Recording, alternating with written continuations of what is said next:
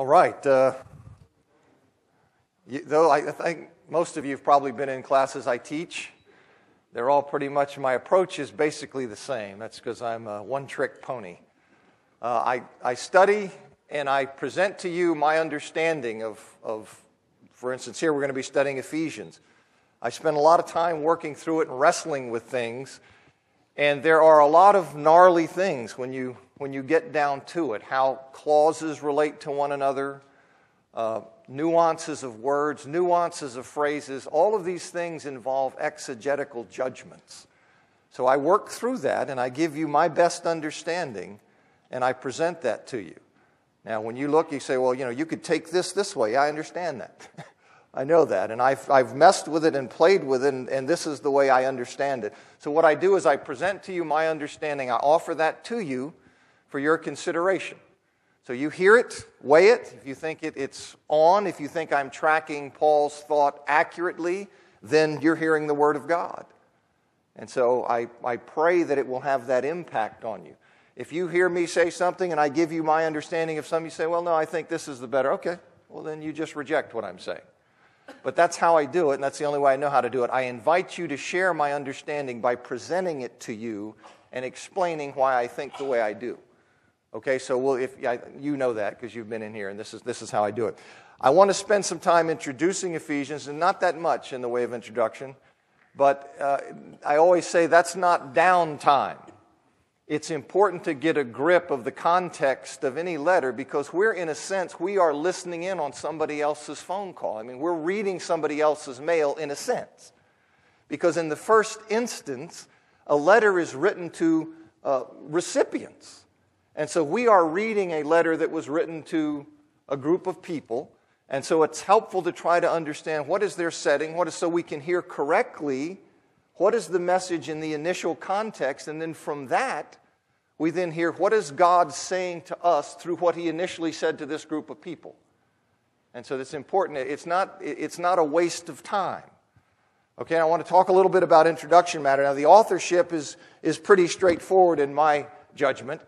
If the, the letter is written by the Apostle Paul. You see that in chapter 1, verse 1, chapter 3, verse 1. And it was written when he was in prison.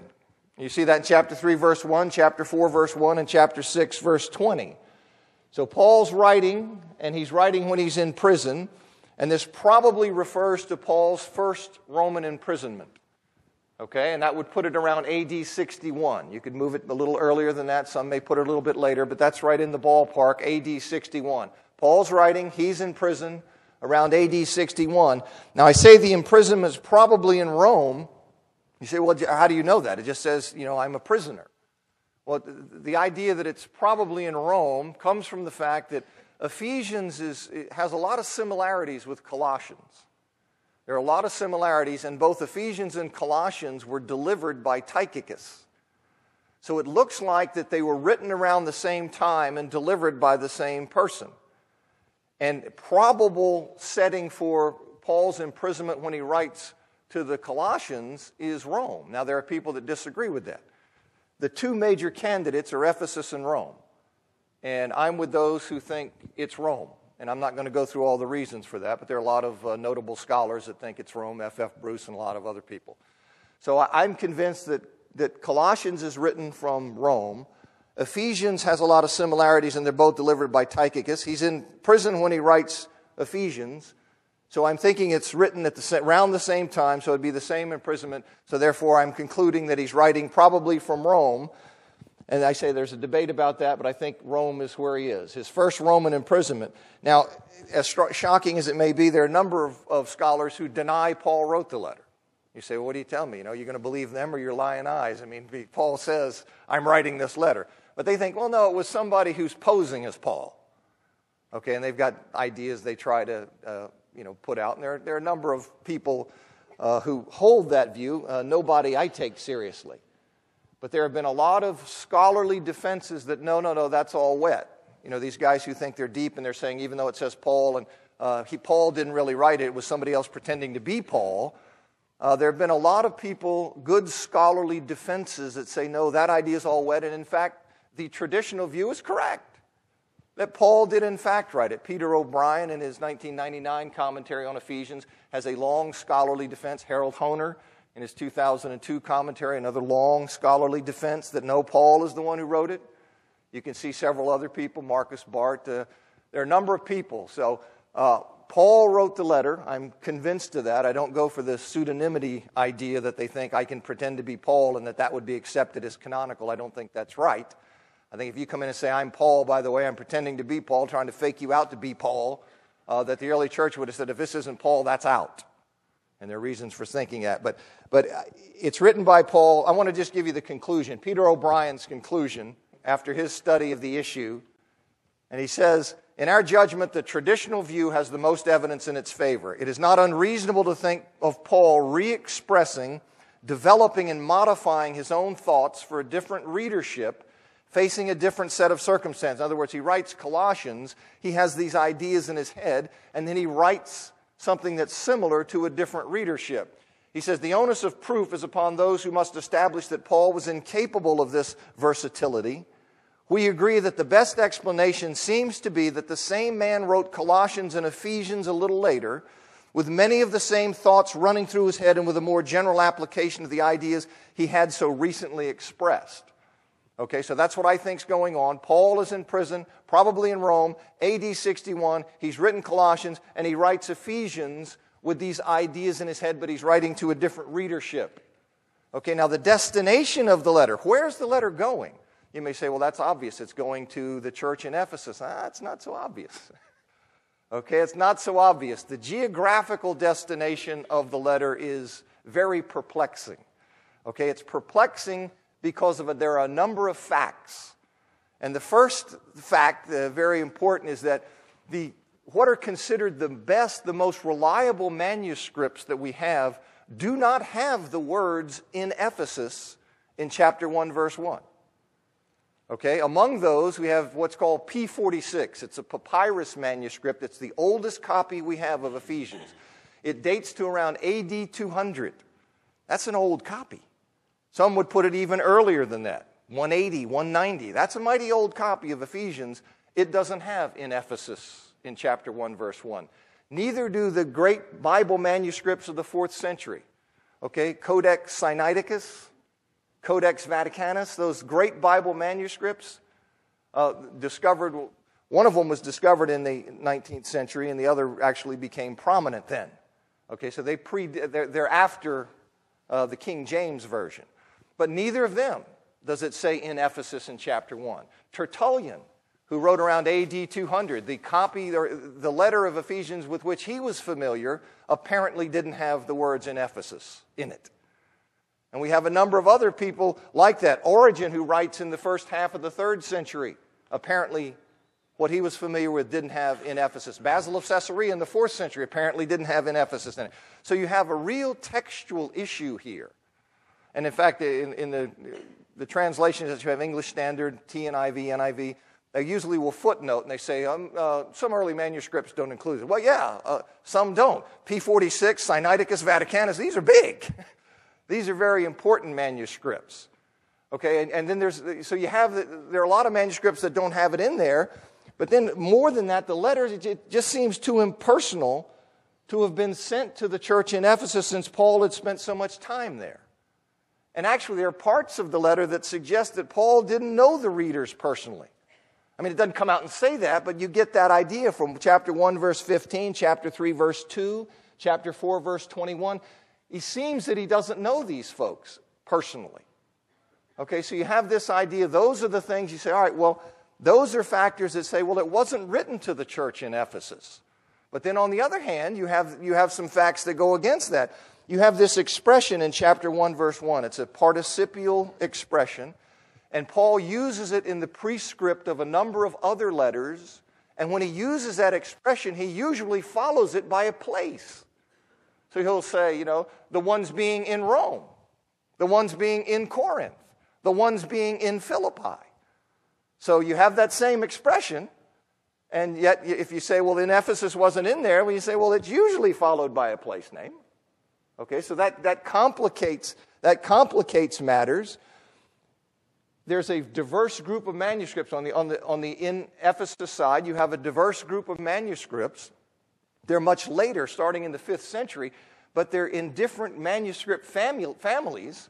And so you have a ton of manuscripts that have in Ephesus, and you don't have any manuscripts that say anywhere other than Ephesus. And finally, the, the, uh, the earliest copy we have, P46, it doesn't say in Ephesus in chapter 1, verse 1, but it has a title, and the title is To the Ephesians, or really to Ephesians. Okay, right up in the title. But in 1 1, it doesn't say in Ephesus, but there was still a connection with us. So you sit there and say, well, how does one account for all of, for, for all of these facts? What is an idea that accounts for these facts and uh, establish, you know, is, is the best understanding? Let me first give you this is a conclusion of uh, two New Testament scholars, D.A. Carson and Douglas Moo. They have a book, uh, Introduction to the New Testament. They did the, the two of them joined with Leon Morris on the first edition of this book, and then in 2005, these two did a second edition of that book. But it says, in the end, we must probably conclude that we do not know for sure for whom the letter was originally intended. The evidence of the great mass of manuscripts, starting in the fifth century, you have a wide range of manuscripts that all have in Ephesus. Okay, they say the evidence of the great mass of manuscripts and the improbabilities of the other views may drive us back to the view that it was meant for the church at Ephesus. If we feel that the absence of characteristic Pauline expressions of warmth that would be expected in a letter to a church where he'd spent as much time as he had at Ephesus, and of the references to concrete situations, if those things are significant, then we'll probably think of some form of circular letter, but we're left with difficulties whatever view we adopt. So it's kind of a puzzle. Okay, it's kind of a puzzle. Where is this letter going? Now, I'm inclined to think, with a number of scholars, O'Brien, Peter O'Brien among them, that the words in Ephesus that they probably were not in the original. Okay, I'll explain how I think this all works out. They probably weren't in the original, and then its absence, that leaves one. If you say, okay, well, how do you then translate this if you don't have in Epheso in the original? That leaves you with a translation something like Paul, an apostle of Christ Jesus by the will of God, to the saints who also are called believers in Christ Jesus. Okay, that's a little awkward, but it's not impossible. The only translation, uh, modern English translation, that takes a route something like this, in other words, that translates it without in Ephesus, is the Revised Standard Version. And they, a little bit different wording than I've given you there, but they, they recognize that the manuscript support isn't there. Most of them will translate it. I think some of that's because of tradition, because it came through in the King James. Most of them translate in Ephesus, but they'll usually footnote and say some of the manuscripts don't have that. Okay? What I think is it wasn't there originally, and my guess is, is that it was intended for a group of churches in Asia Minor, okay? So Paul, in my judgment, he's in prison. He has written, he, you know you've got letters to Colossae, letter to Laodicea. You see that in Colossians 4.16, that he had written letters to, to those churches. So I think he's writing a letter to a group of churches from prison in Rome and that circular letter first is taken to the church in Ephesus, and from there it was then copied and sent out to the other churches Paul intended to get it. So it becomes connected with Ephesus very early. The copies are sent out from Ephesus. You have this association with Ephesus very early, and that's indicated by this copy from AD 200 P46 that puts to Ephesians in the title. So there was a very early connection of this letter with the church. And then later it works its way into chapter 1, verse 1, and it would be very easy for people to conclude because Paul uses that part participial expression, the ones being, and when he uses that elsewhere, it includes a geographical location. It would be easy for someone to say, well, someone had inadvertently dropped out in Ephesus here, and then to put it in, and then it would show up in the later manuscripts. Okay, there's not a great deal riding on that. But I just wanted to alert you to that, tell you there's an issue here. I think it probably is a circular letter that was early on associated with Ephesus, but I don't think in Ephesus is there in chapter 1, verse 1. But what, whatever their specific locales, now this is an important point. Whatever, you know, whether you say, well, no, they are actually in the church in Ephesus, or it's, it's a more, uh, a broader geographical region where he's writing to a number of congregations in Asia Minor, whether they're, whatever their specific locales, it's clear that the audience to which Paul is writing, they are predominantly Gentile Christians. Okay, you say, well, how do you know that? Well, you can see it in a number of places. Their ethnic background is it's shown by the way they're addressed in chapter 2, verse 11, chapter 3, verse 1. It's shown by their depiction, the depiction of them as being religiously deprived relative to Israel. You see that in chapter 2, verses 11 and 13, and by the reference to their, uh, their past Gentile lifestyle in chapter 4, verse 17. So, wherever they are, whether it's just Ephesus or whether it's a group of churches in Asia Minor, he's clearly writing to uh, Gentile Christians. That's his target, that's his audience. And that's, a, that's an important thing. Now, it's written, I think, Ephesians is one of the least, um, it's one of the most general letters that Paul writes, probably the most general letter. A lot of the letters, all other letters, they're very occasional, specific. They're written to a, a congregation in a certain circumstance. This is more general, it is less uh, contextually specific. It's like Paul, he's writing to a larger group of people, so the ideas are more general. And so you say, well, okay, what is his purpose then in writing that? He's writing to this larger group of people a more general letter. What's his purpose? Well, there's a disagreement, but I think there's some good ideas here. O'Brien writes, he says, having addressed a specific problem in Colossians, he wrote to that specific congregation where they were having issues with some false teaching. He says, having addressed a specific problem in Colossians, Paul has remodeled his letter for a more general Christian readership. He writes Ephesians to his mainly Gentile readers for whom he has apostolic responsibilities with the intention of informing, strengthening and encouraging them by, by assuring them of their place within the gracious saving purpose of God and urging them to bring their lives into conformity with this divine plan of summing up all things in Christ. And we're going to talk about that, uh, probably not this week, but this idea of summing up all things in Christ, God's ultimate purpose, this mystery. And he's calling them to conform their lives to this mystery that has been revealed. Paul wants to ground shape and challenge his readers in their faith. In other words, the main purpose of his letter is identity formation. Who are we as a body of people? We, as Gentile believers, who are we? What is our heritage? What is our hope? What are our promises? How do we fit into what God has been doing? And I think that's what he's doing, and I think that has great relevance for us today. All right, that's all you get in the way of introduction. Here we go. Chapter 1, verse 1, verses 1 and 2.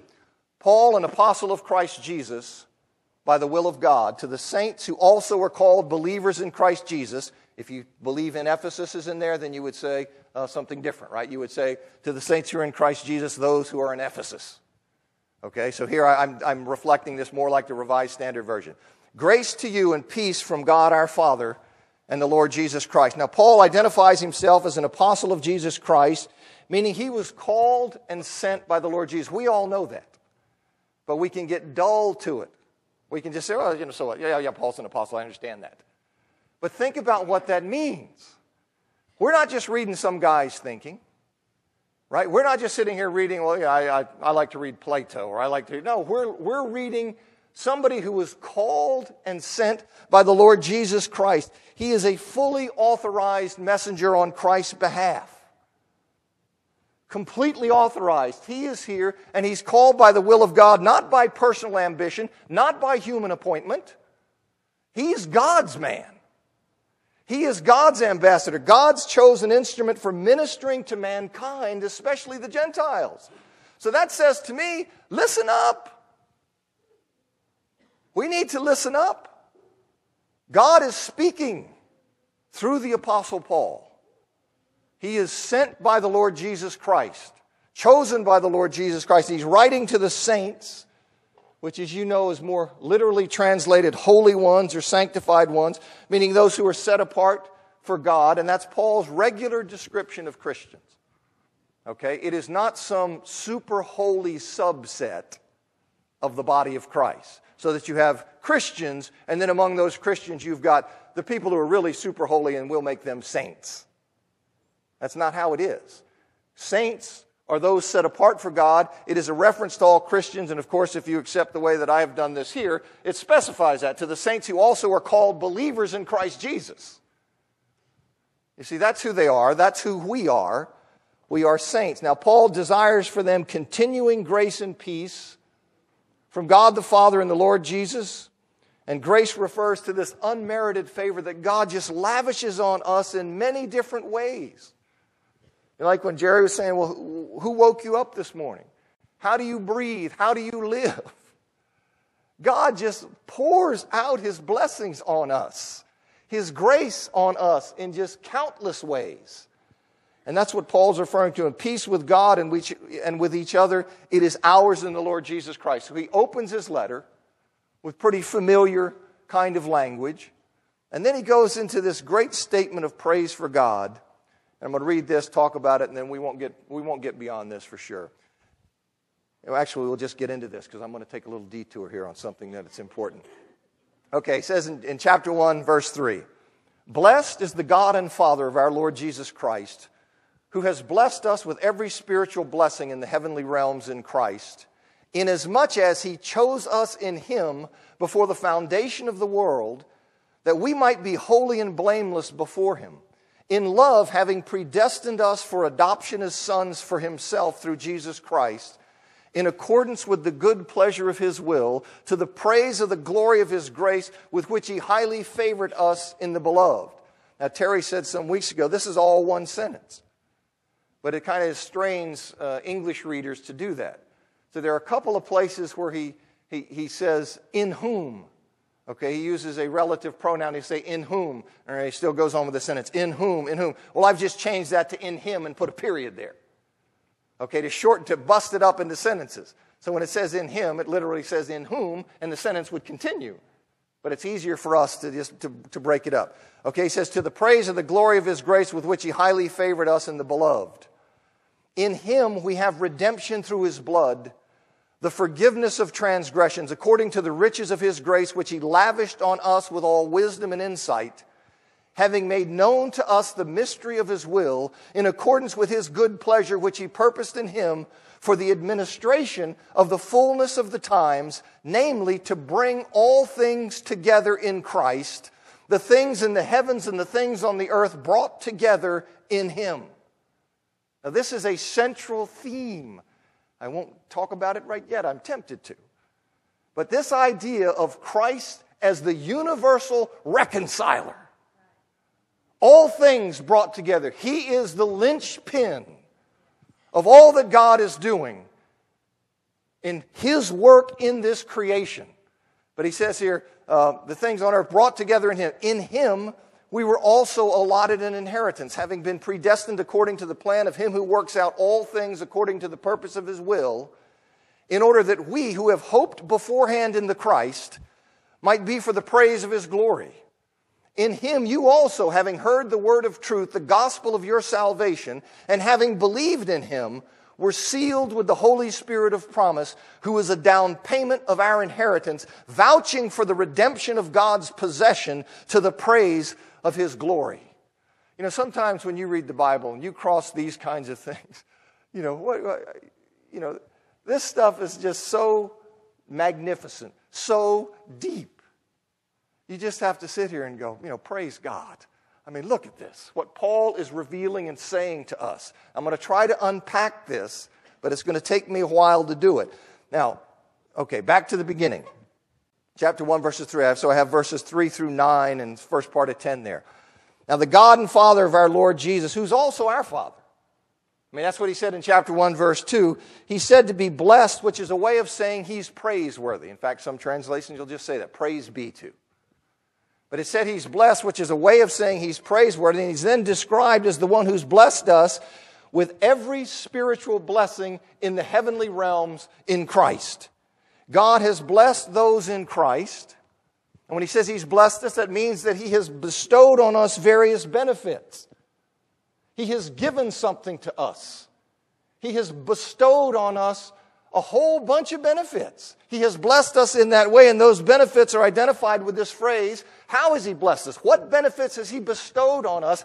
Every spiritual blessing in the heavenly realms then the nature of those are specified in verses 4 through 14. Verse 4, he says, inasmuch as. Much as, okay, so we're going to see, well, what, how has he blessed us? What is the nature of these spiritual blessings that he's given us, these spiritual blessings in the heavenly realm? Paul is saying in the second part of verse 3 that God is praiseworthy because he's given to Christians every spiritual blessing that exists in heaven. And as verses 4 through 14 make clear, Paul is referring specifically to the blessings that flow from the redemptive work of Christ. Christ's redeeming work, Christ's crucifixion, Christ's resurrection.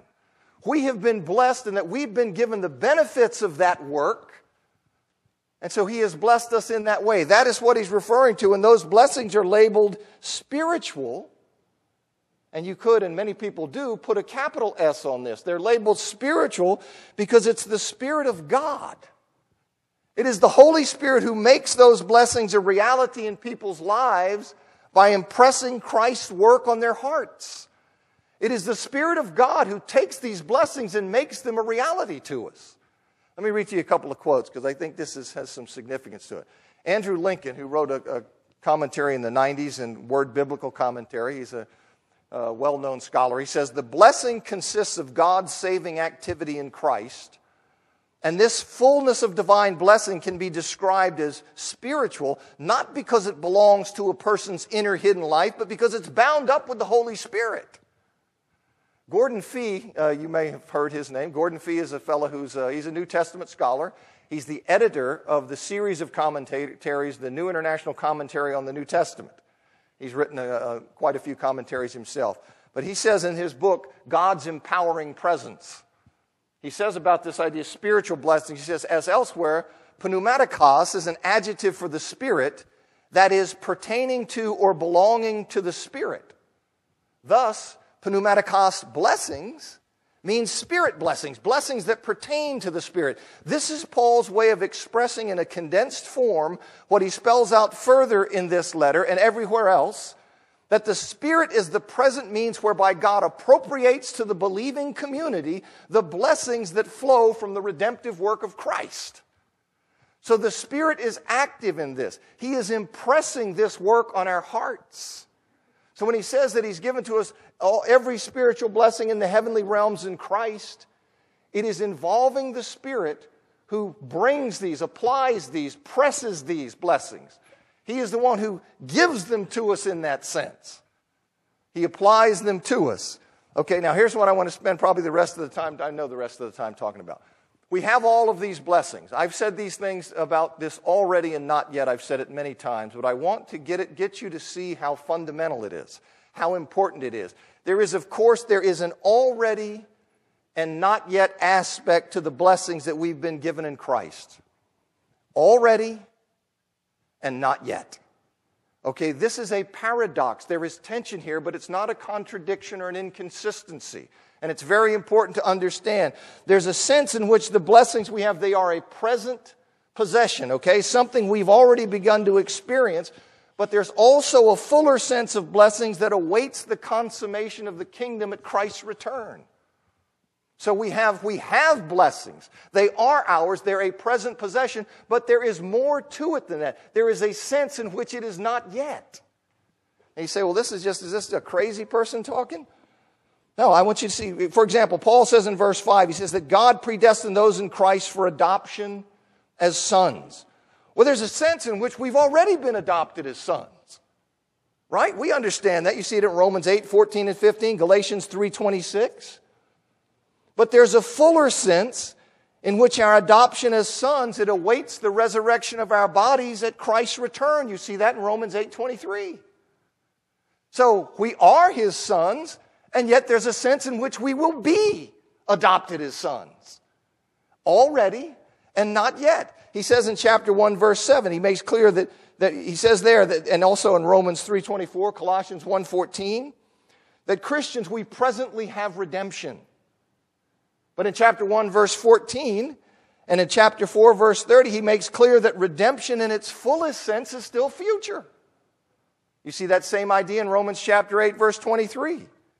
So, redemption, we have redemption. Sonship, we have sonship, but there's also a sense, though it's already, there is a sense in which it is not yet. Let me read what O'Brien says. He, he says, redemption, so he's talking about redemption in chapter 1, verse 14. And he says, redemption, which is a present spiritual blessing at chapter 1, verse 7, here signifies the final deliverance when God takes full and complete possession of those who are already His. Right, this is an important idea. All right, this idea of already and not yet, if you read around and if you've come across the term, it, it, the theological term for it is inaugurated eschatology. That sounds frightening. All right, eschatology is the study of end time stuff, inaugurated having already begun. Oh, so the end has begun. And it is a fundamental perspective. It's not some tangent. It is a fundamental perspective of the New Testament, and you need to see it. Let me read to you a quote from a guy named Thomas Schreiner. Uh, he's a New Testament scholar.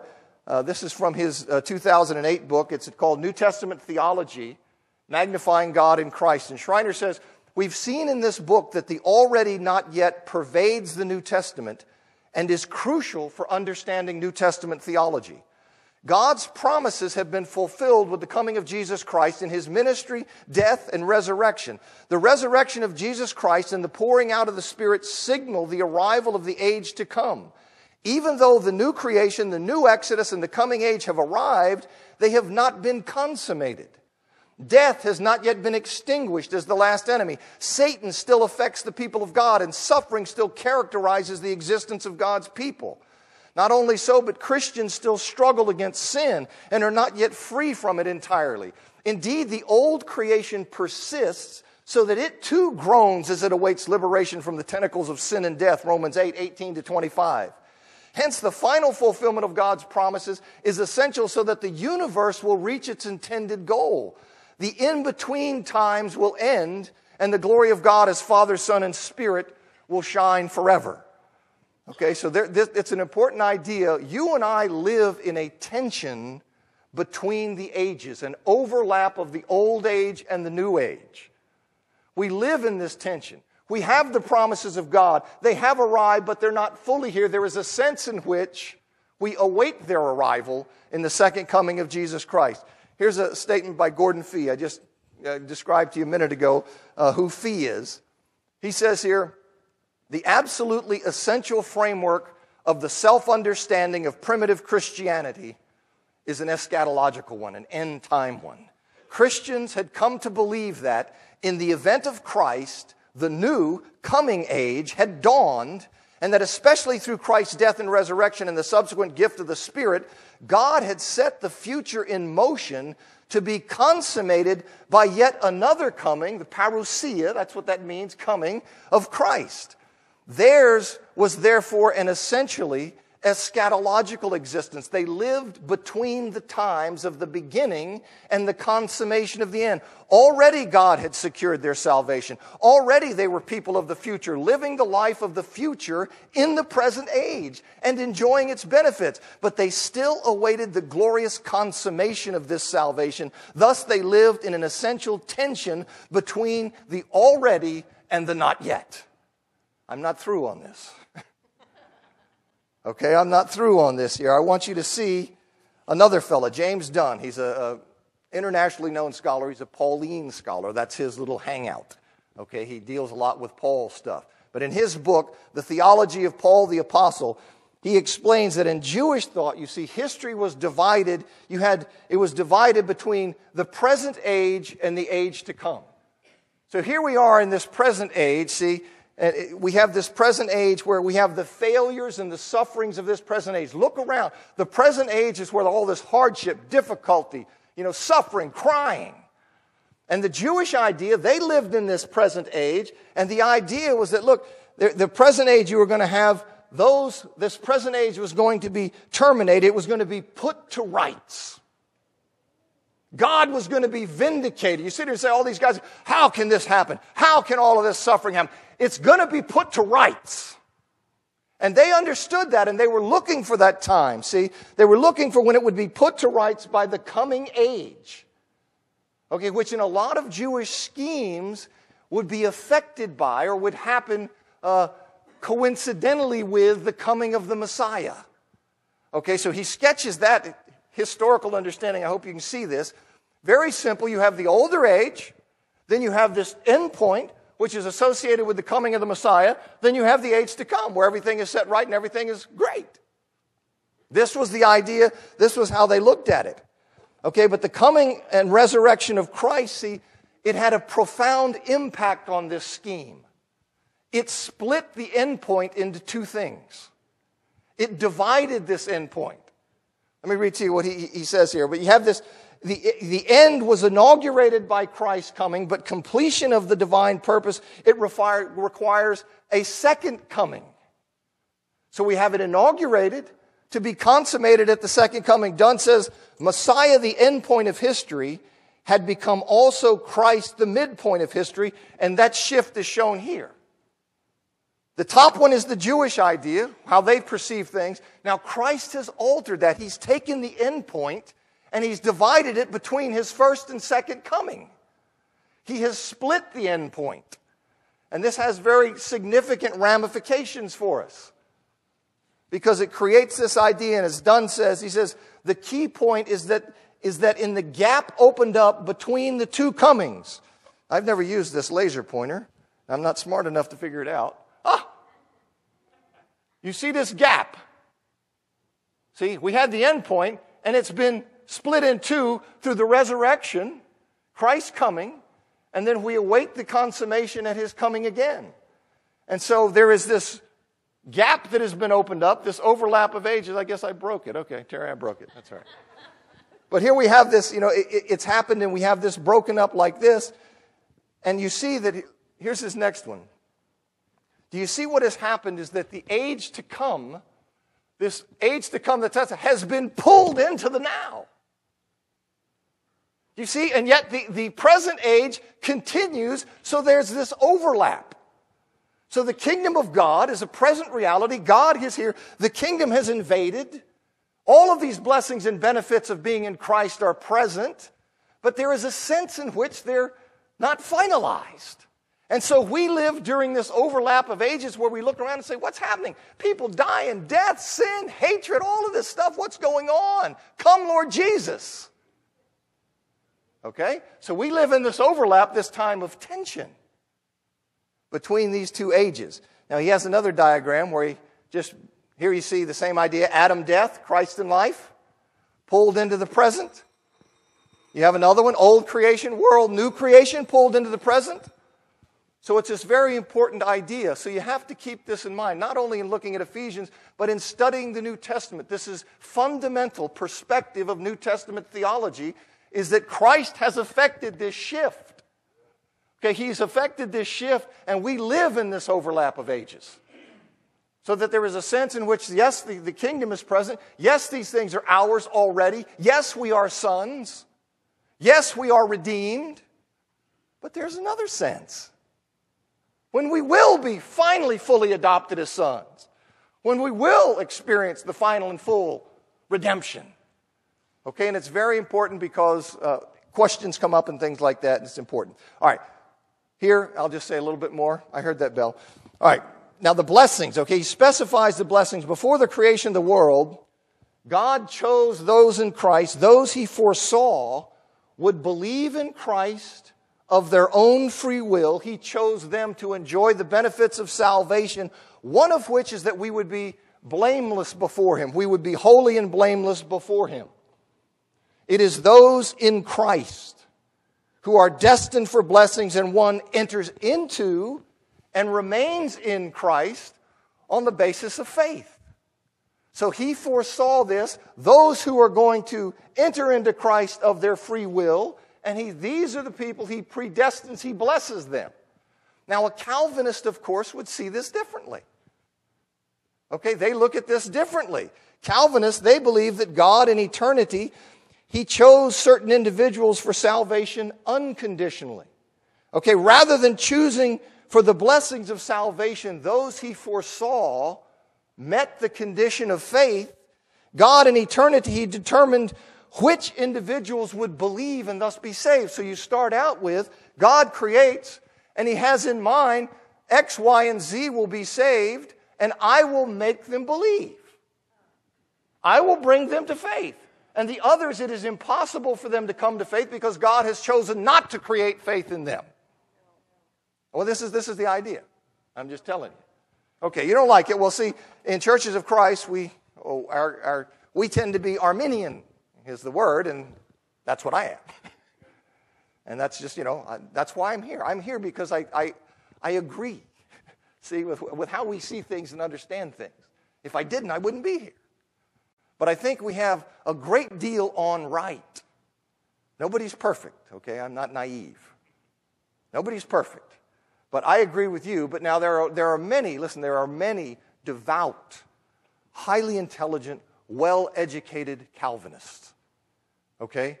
They cut this thing differently. I disagree with how they slice it, but there are many people who are very devout. Some of the people I've read to you fall in that category. I've learned a lot from them. I just think they're missing this point here, and I think part of what drives them to their conclusion sees the notion that it, their idea is that salvation becomes a human accomplishment unless one's faith is fully determined by God. In other words, if you have any role to play in choosing God, well, then you might as well say that you're saved by God and you. Okay, so their motivation is they think that takes from God's glory. Because God is the one out here saying, No, I've chosen you and I'm going to make you believe, and come on. It's all of me. And they think if you put that there's a response from somebody, a free will response that is outside the direction and control of God, well, then, you know, it's, it's God and you. Okay, but I think that misunderstands the nature of faith. Let me read to you what uh, Jerry Walls and, uh, and Joseph Dongell in their book, Why I'm Not a Calvinist. Explaining this view of Calvinists of have, have a faith, he says, if faith is viewed as our part of the process of salvation, then salvation must be viewed as a cooperative affair, and we should then describe ourselves as self saviors in part. That would be the criticism that Calvinists would make of somebody like me.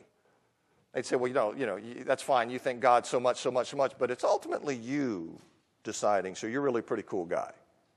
All these other schleps over here, they didn't have your insight, your brains, everything. Uh, so it's all about, see, because you ultimately made it. You see, that, that's part of what's motivating them. So it's not, a, it's not an ignoble motivation. They feel like they're, listen, we're trying to protect the holiness of God and that makes salvation all of Him. But I'll end with this here. This is what uh, got, I got to read this having set this up, so stick with me just a second. All right, I think this, this fear, it rests on an improper understanding of faith. This is a two slide thing, and then I'll shut up after this.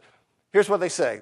I think the Calvinists are missing what faith is. It says the Bible itself does not describe faith as a work that accomplishes a task, or as a deed that establishes merit, or as a lever that forces God to act. Instead, we find that genuine faith is something quite different. As Paul's treatment of Abraham shows, the patriarch's faith had no power over God, earned no merit before God, and stood as the polar opposite of honorific deeds. Abraham believed God, and righteousness was credited to him, not paid to him. God alone justified Abraham freely on the basis of Abraham's faith, since by its very nature, faith confesses the complete lack of human merit and human power it subtracts nothing from the Savior's grace or glory. By its very nature, faith points away from all human status and looks to God alone for rescue and restoration. I think that's the biblical concept of faith. Okay? We're not buying anything and He owes us nothing. We're just sitting here going, mercy. Mercy. Thank you. I'm through.